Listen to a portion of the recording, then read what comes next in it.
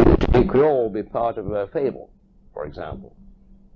But nevertheless, the fable don't make sense because a couple of characters you said are, are, are different characters in the fable have exactly the same role to play. That would be a case in point.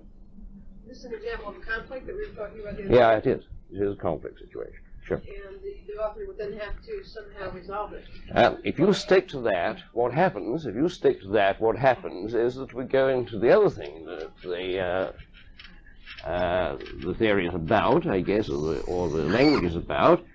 We say, well, really, of course, he's talking about P and a couple of kinds of T uh, and a couple of kinds of Q dash. And as it were, T is evaporated into pair of components, Q dash dash, and R. Uh, and T is not equal to T primed, and is not equal to T prime primed, uh, nor is Q equal to Q primed, and is not equal to Q prime primed. But it is true that they're in one-to-one correspondence. So I indicate that by a special connective, which is the beginning of a kind of analogy relation. It is, I'm looking at, in this sense of context, at least a couple of different universes, in one of which T primed and Q prime make sense about an object, and another of which T prime primed and Q prime prime make sense about a kind of an object. And let me call these universes by labeling the boundaries of them, X, Y. Doesn't matter what. Label 1 and 2 or something, or whatever you want. Now, therefore, one is, is working here with one-one correspondence isomorphisms, or if you prefer to be more thoroughly mathematical about it, as a matter of fact, you're looking at the functors between the morphisms of categories. Uh, categories of objects, such as groups, rings, trees, etc. Uh, and the universes are the categories, and the functors are those things that relate them. The morphisms are the relations inside.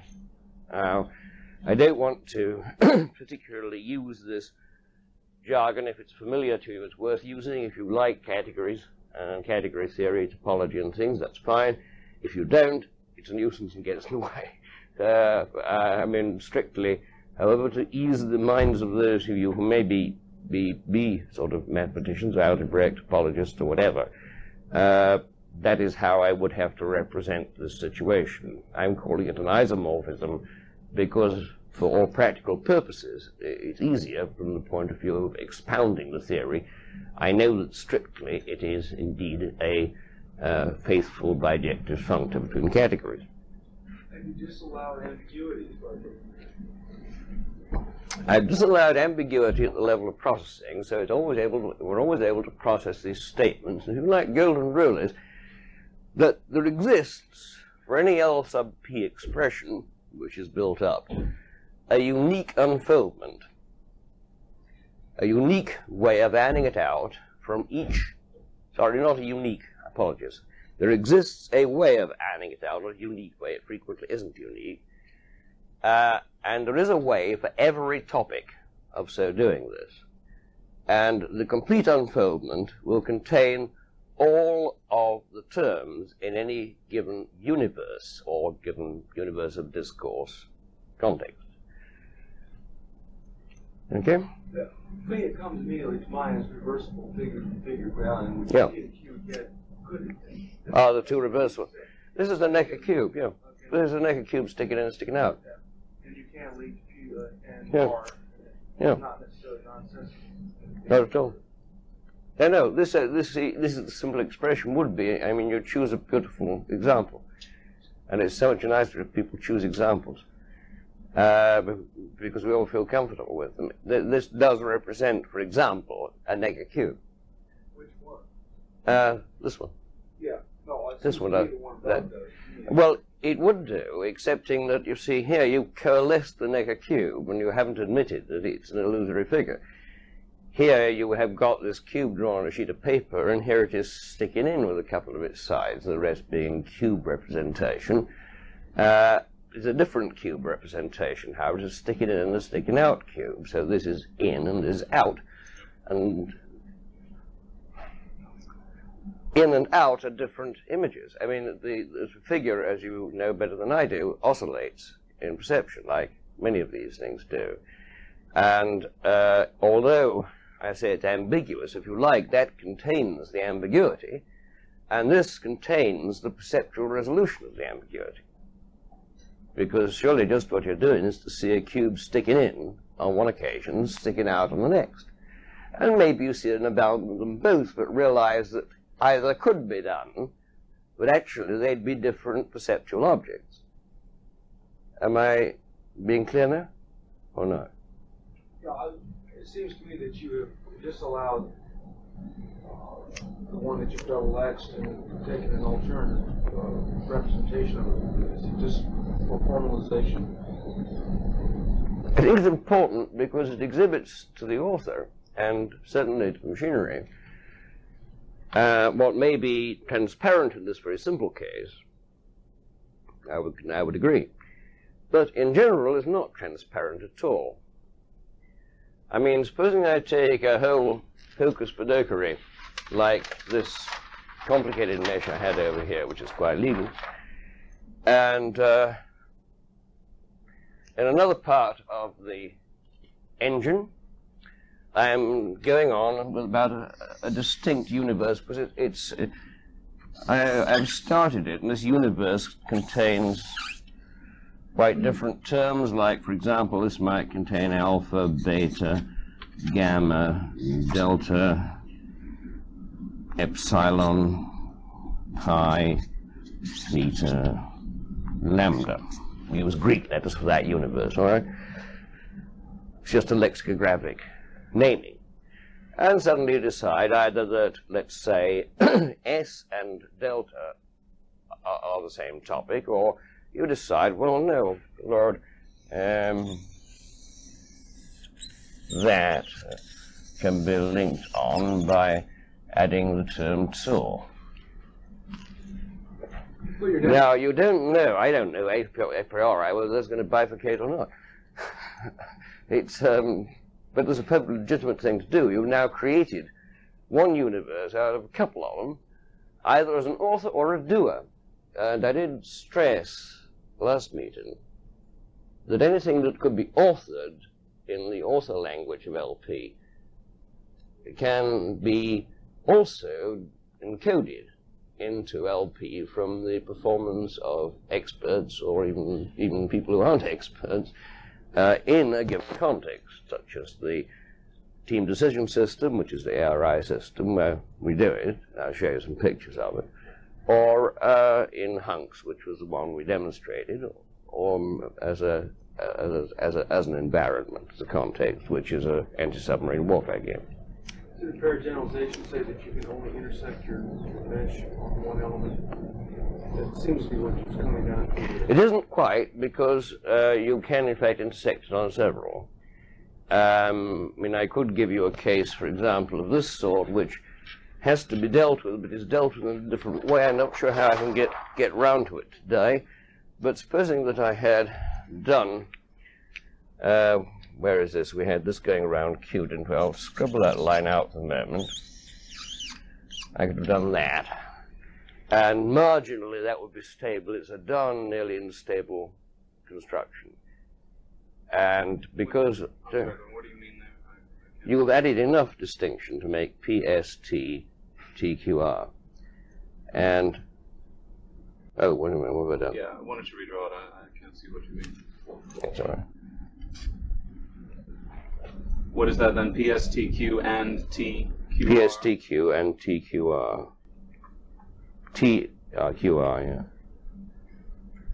Yeah, it's done nearly unstable, but not quite. It's general. It's general because of the. Uh, it's general, but it's not quite. Sorry, uh, is that You wrong? haven't explained what general means, but go ahead. Uh, no. Well, How well,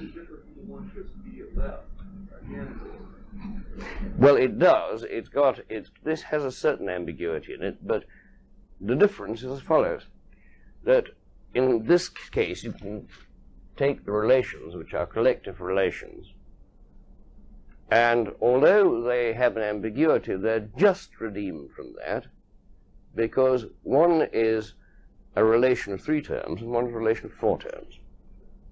That is why the adicity or the number of terms in the relation redeems it just. But uh, if you like to play around those unstable things, they're, they're very interesting, incidentally. If you like to play around those things, you can do. As a matter of fact, they have to be mechanically dealt with in a slightly different way uh, when they're, they're processed. But this case is unequivocally one where you've lost distinction. And you've got your Necker cube case. And you don't mean a, a va- you don't need TNF or anything. You have an oscillating value uh, as well, uh, which is, is perfectly true. But to obtain that, you need to represent it in this manner. And um, now, the, general rule of acceptance, sorry, general rule of legitimacy, let's say, for any proposed L sub p expression. Um, so the way of telling whether or not, for example, this is a this elaborate thing up here, this elaborate sort of uh, letter gumbo up here is um, uh, oh no, the wrong one. Uh, apologies. To apologize, letter gumbo up here with all the Greek and Latin letters on it, uh, is a legitimate construction or not, is to say that there must be a way of unfolding it. So, just to make short, I mean by an unfoldment or a pruning, uh, it's called in this case, I will take the simple example of a perfectly stable form which is distributive, and I'll take a very simple one because it's easy to draw, frankly. And um, this has an alternative representation as a process. okay? And they all do. Some more difficult to notate, notate than others, they all do. Uh, the representation is logically unique, though notationally not unique. In this case, it is both. So in general, you get notational equi- uh, notationally different forms which are logically speaking equivalent or proto-logically speaking equivalent. So, for example, if I prune this from T, I get uh, not a tree, but I get a structure which says that T can be obtained from P and Q.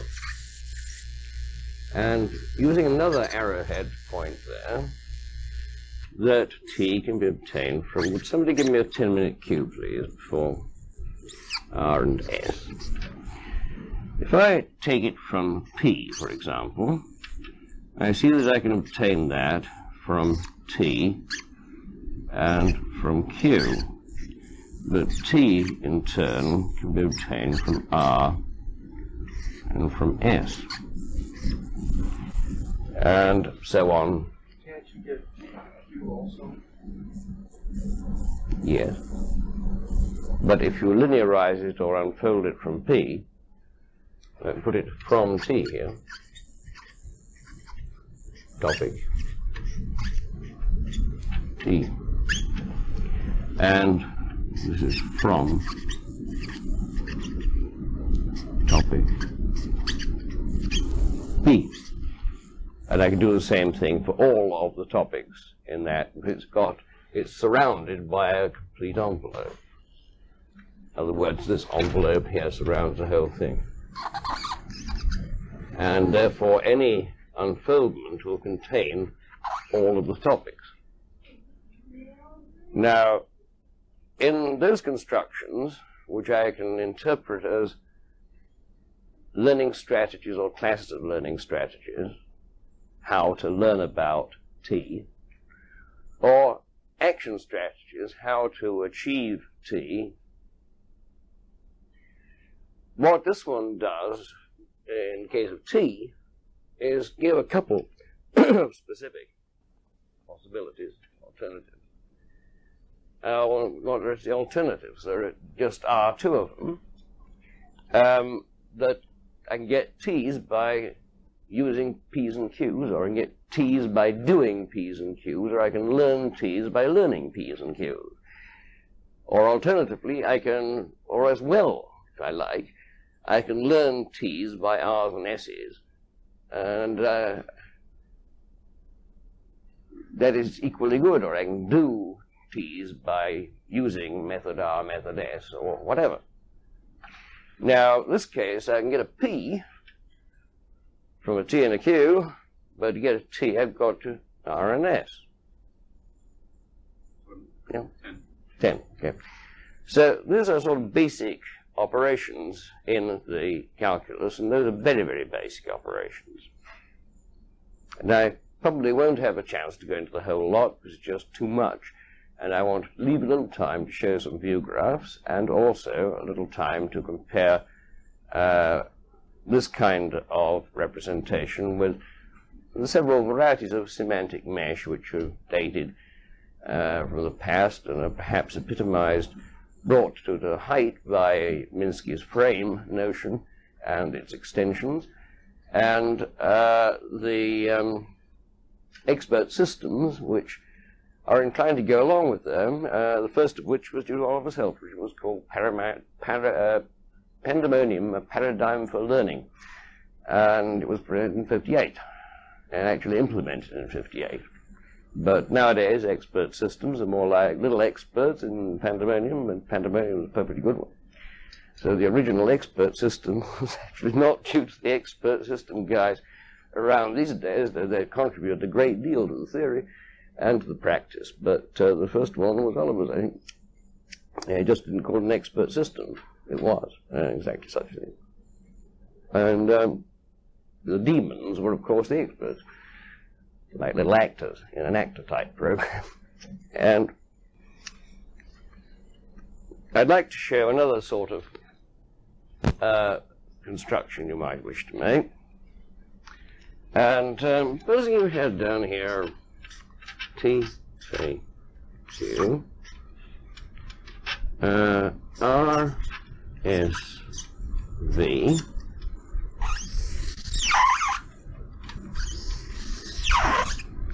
and we head on here L, K. Okay, these just standing for different topics.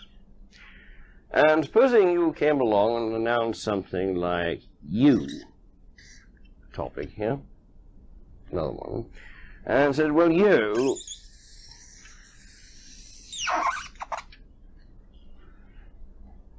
Now, it's so funny about that, is you try to do that operation to it, you come up against a boundary from you, get you, this boundary, and it's the simplest of a whole collection of them, except in one, one um, the um, so what indeed happens is this, that you say, all right, I've got to create new topics, which I'm going to label with Greek letters, and I'm going to call those topics alpha, pointing to that whole lot there, and beta, pointing to that whole lot there, and u, pointing to that whole lot there, and actually they are in uh, some sort of other universe, namely universe of generalization.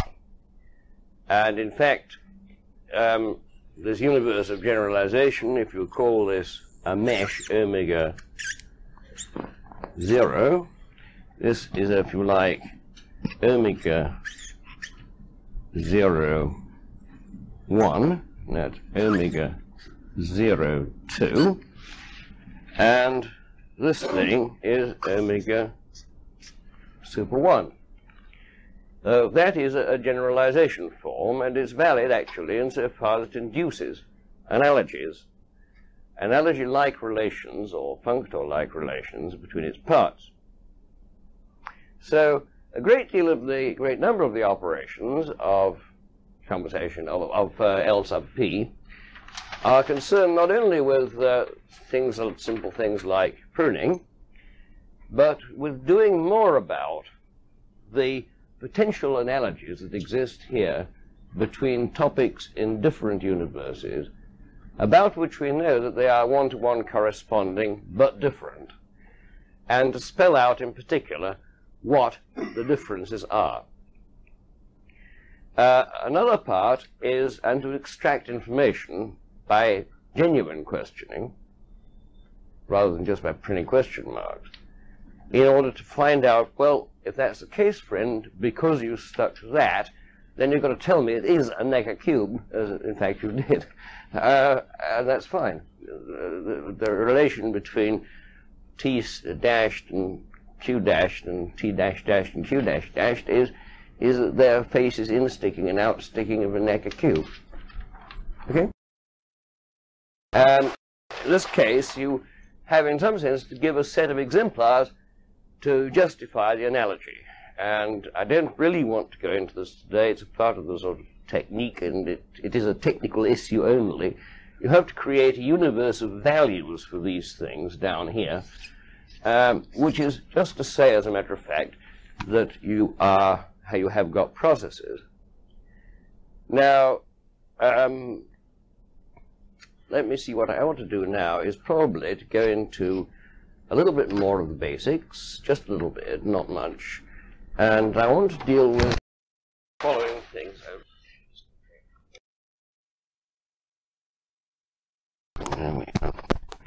Thank you. It's all right, I think.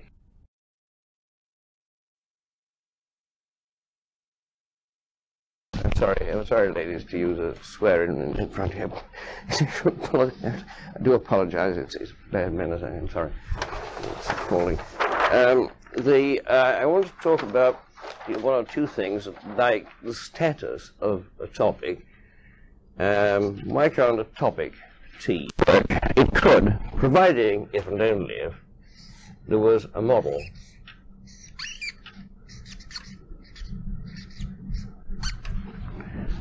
That indeed T was not that acted. Uh, now, it happens that there is now a pair of operations which are called condense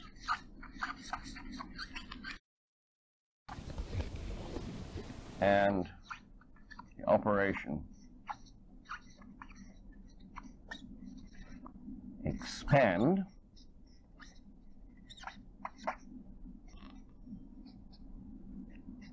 which have the following effect. Condense has the effect, and is applied in a mandatory fashion, of creating a generalization up here at the price of establishing analogies between this universe and the values or exemplars of those beneath.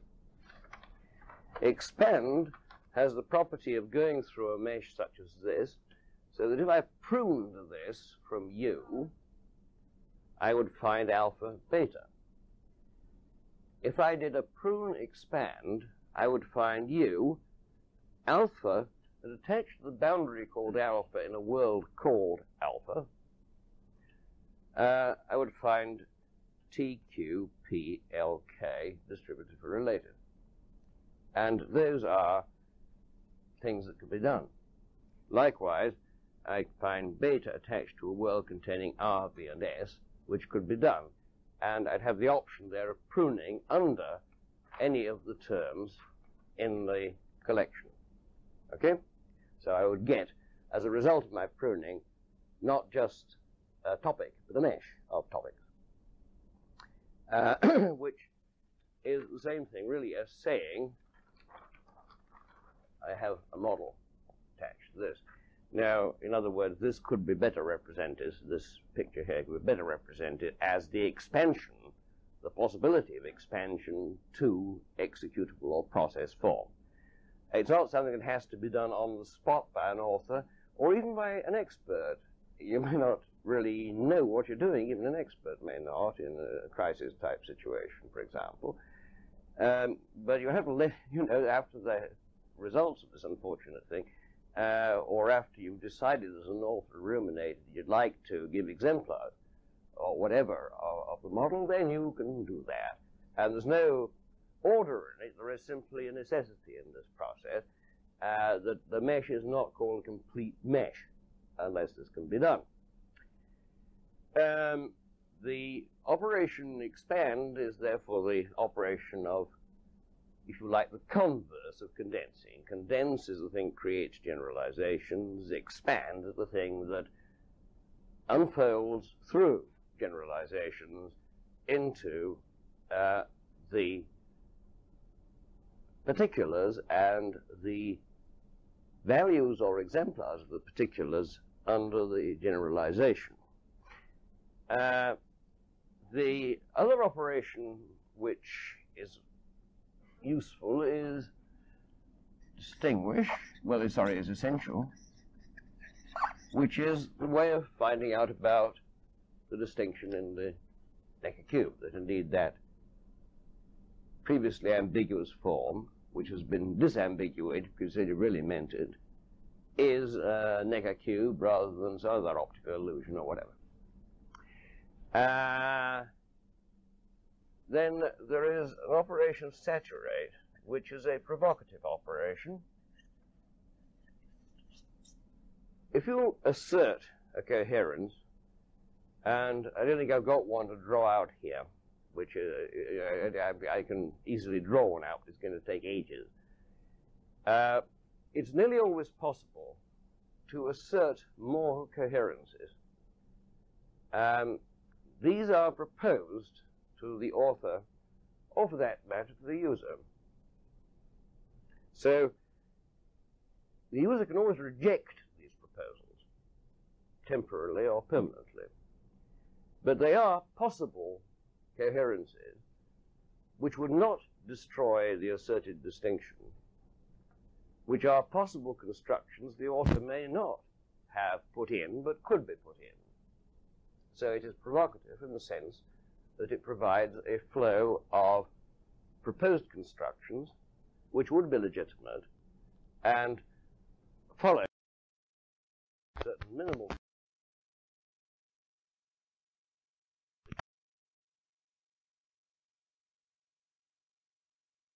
think of the primary operations of L sub p, would you think Paul have covered the majority of them?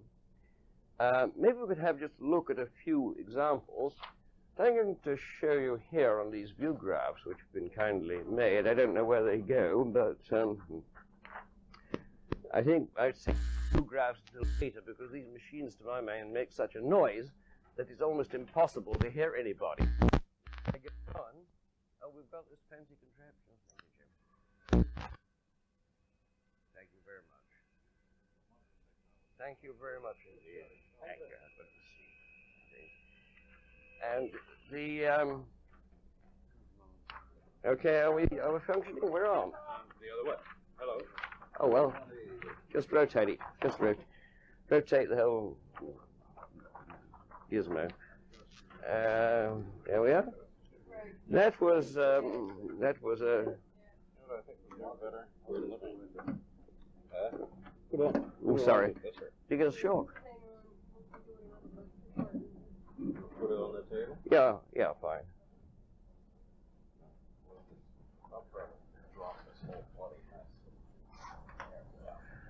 And so, uh, that was the one of the first implementations of ThoughtSticker as a room in which authoring was done, and in fact is the implementation of ThoughtSticker on which uh, meshes, command meshes for TDS were produced.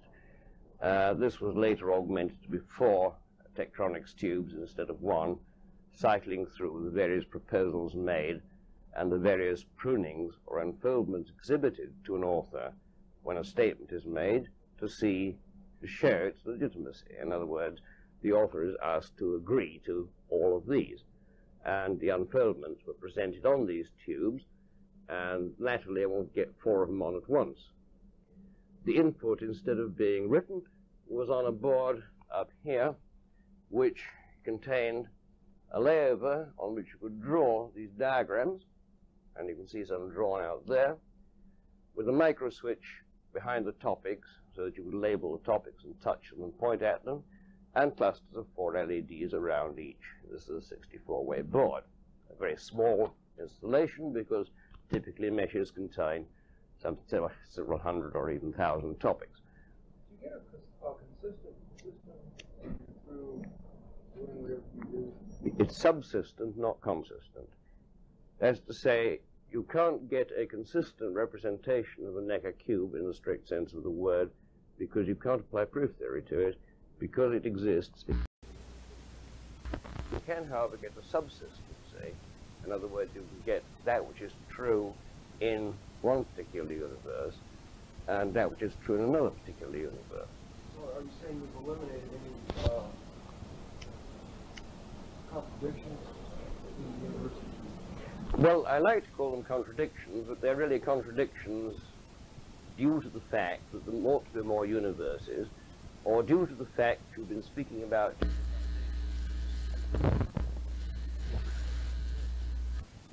now, um, as I say, there needn't to be mesh. Has to be in a complete mesh executability. Since a mesh very well statements about the beliefs and the actions of the commander, and commonly does, the nature of vehicles, resources, uh, cost, uh, firepower, everything. All very different subjects. Very, very different universes, opinions, public opinion, public opinion uh, the populace and so on. These are all morale, typical ones, leadership qualities of one kind or another. They're not the same code. They may or may not have a formal truth value. They certainly have a coherence value. And they certainly have distinction value. They're certainly executable as, as processes, or their consequences are executable as processes. But uh, they could have truth value, but if they did, these truth values would manifestly be in different universes. You can't talk about so many feet or meters of, uh, of uh, and it's crazy to do so. What is happening actually is that most people, the, the guys at Georgia Tech, uh, in the AI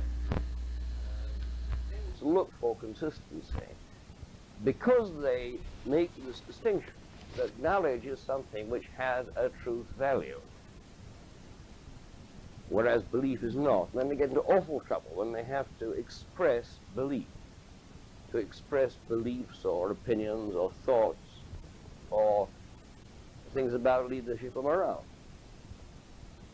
Now, I take the reverse point of view. I represent not knowledge, if you like, but knowable, topics, which are distinct and are coherent with one another. And uh, I perform unfoldments and so on. And these can have a, have a coherence value. And they do have a process attached. They can be, the public concepts may be applied or processes may be executed in a complete mesh.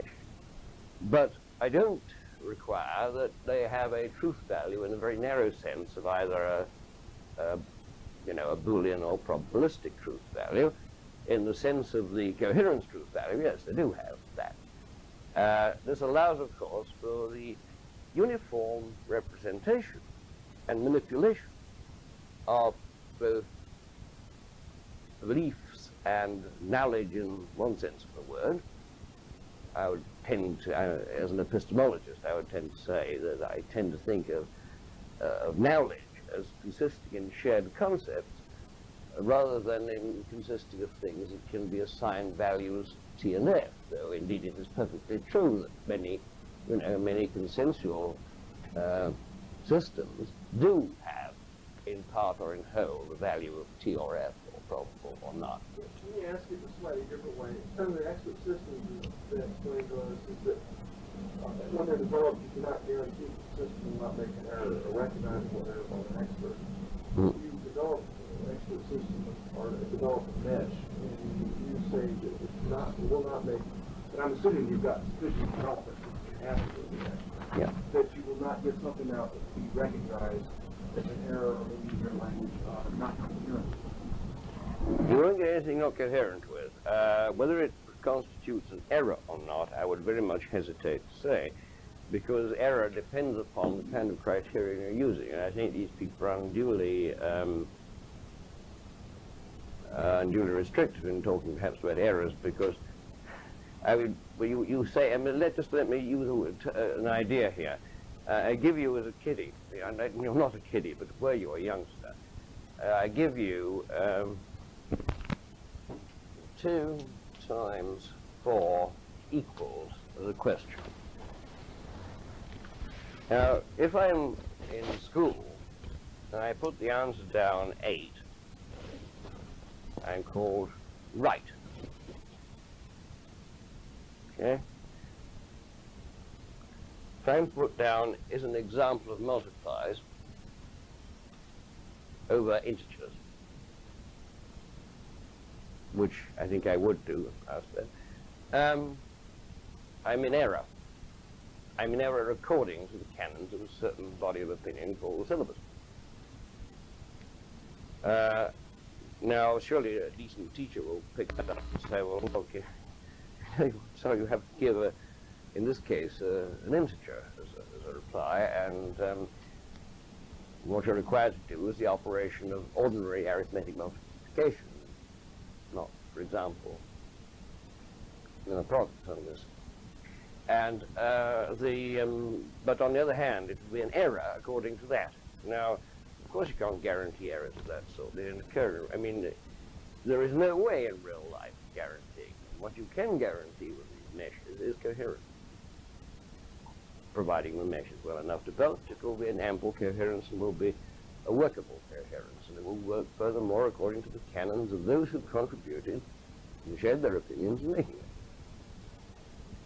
My understanding was when they talked about errors, it wasn't essentially talked about error, but it was an outcome that the expert himself would not recognize. You can often get that. I mean, it may happen that when you construct a mesh, you, uh, it's all perfectly okay, and you will be exhibited what it does, and in that sense, you might, of course, disallow it, or, or render parts. You can't actually expunge it. You can't expurgate it literally. You can make bits of it inaccessible by shoving them, shoving them in some other universe where they are past hypotheses. They represent past hypotheses, or hypotheses considered and rejected, and are not directly accessible. So you can't get rid of them any more than you when you say, "Oh Lord, I am wrong about this." You actually haven't taken the hypothesis or thought you said you were wrong about and destroyed it. You put it away in an inaccessible part of the head. And it isn't accessed as being one of the sensible things you think of when you, were thinking about the subject of, of which the mistake in, in your sense, mistake, in my sense, mistake as a thinker, mistake applied. You wouldn't bring to mind this particular possibility, this particular hypothesis, unless you say, I want to remember what I got wrong before. Why, for example, because I want to learn from mistakes. I made a boob of this kind once, well, apply a different situation, and to make an analogy out of it, because this business of refining similarities and this connective of uh, uh, uh, which becomes analogy when you say, you know, it's just not an ambiguity, it's a Necker cube, is a very powerful tool and leads to many kinds of inference. And the basic mode of reasoning, in fact, if you like, in this sort of thing, is a, well, sorry, the basic mode is too pompous. One of the basic modes is uh, reasoning by analogy, which is disallowed in the great majority of, of systems, even expert systems, though they accommodate it tacitly. And the reason it's disallowed is the other reason I gave on the top. Um, of that board, the first sheet of that board, when I only, instead of going into a whole lot of spiel about Turing and um, Post and Gödel and so on, I only pointed out uh, a thing called operation order. And there's a very beautiful case where uh, Ross Ashby, some years ago, pointed out that a computing machine had an algebra such that it consisted in either a string with knots tied in it, or maybe looping back on itself like a clock dial, where causality and temporality, process, operation, were represented in this fashion, where the operations could be obtained by taking their inverse and then taking the, sorry, the transform, their transform, then the inverse transform, mapping them back onto the line. So mapping them off the line and back onto the line. Now, expert systems are, some of them at any rate, clobbered by, most of them, clobbered by this restriction. And for that reason, you have grave difficulty with some of them.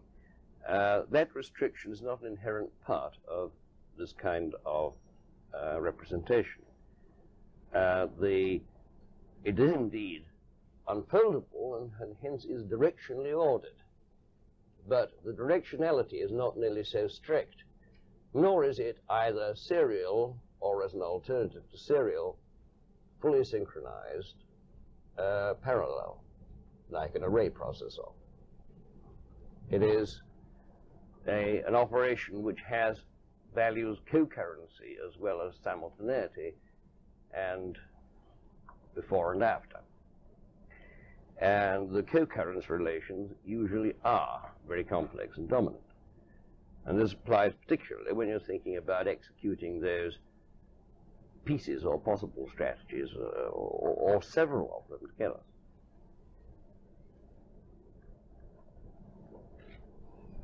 I mean, this appears to, you know, uh, I'm sorry, it's just the way the world is made and the way that computers aren't made.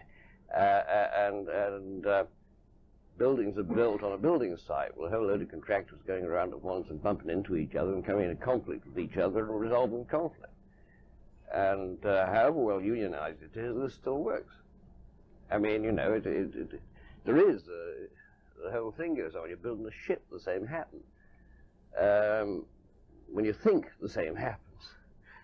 And in fact, a great deal of the innovation, inventiveness is generated by looking at more than one point of view at once.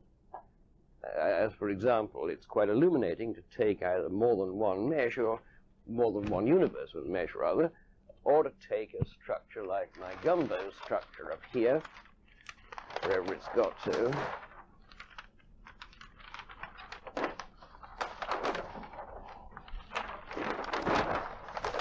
and say, look simultaneously at those points, compare and contrast what you get.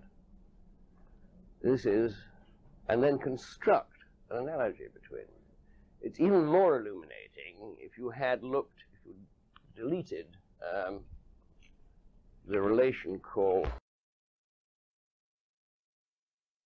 so you had a couple of separate meshes